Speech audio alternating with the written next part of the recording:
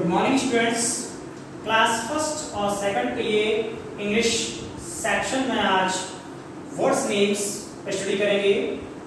सबसे पहले स्वान हंस क्रेन सारस आउ उल्लू पैरट तोता पीकॉक मो behind मोरनी pigeon कबूतर, crow, कौवा, vulture गिद्ध kite चील इन सभी शब्दों को बेटा अच्छी तरह से लर्न करना है और जो उच्चारण मैंने बोला है, उसी उच्चारण को आप याद रखेंगे।